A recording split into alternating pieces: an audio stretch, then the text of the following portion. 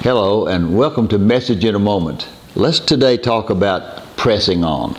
Let, let's, let's talk about just the idea of we're going from where we are to where God has planned for us to be. And, and that's not going to be in, in coming into being by us just sitting by and saying, okay, let it come to me. There is a, a command to get up and go. Uh, when I was a boy, somebody said, My get up and go, got up and went. But that's not what I'm talking about. I'm talking about getting up and going into what God said is ours. And, and here's what encourages us God encourages us by showing us what is possible in Him. Now, you know that just because it's possible doesn't necessarily mean it's probable when God says this is possible, he, he says in Philippians 4:19, I can do all things through Christ as he strengthens me to do it. So, uh, the, the, all things I can do is not because I have an ability or because I'm strong or smart or whatever. It's because Christ in me strengthens me for the task.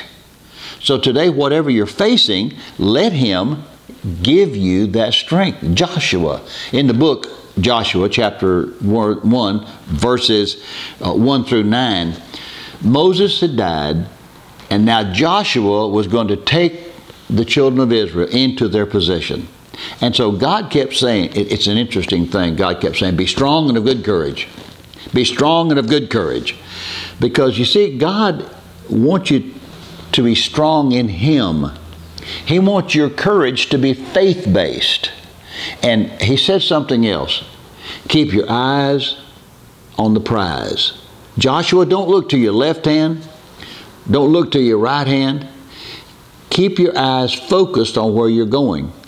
When I was a boy, I was brought up in the state of Texas, and that's for those of you outside the world, Texas is a place where people are very full of themselves. And we used to have like raging uh, flood waters that would come through my city. And they taught us as students how, if we ever had to cross the raging waters, to get across without drowning. Here's what they said Don't look at the water, get a fixed post or something on the other side of where you're going. Keep your eyes on that because everything else is moving, but that post or tree or whatever you're looking at will never move. So here's what I encourage you today the, the waters of life, the storm, everything comes.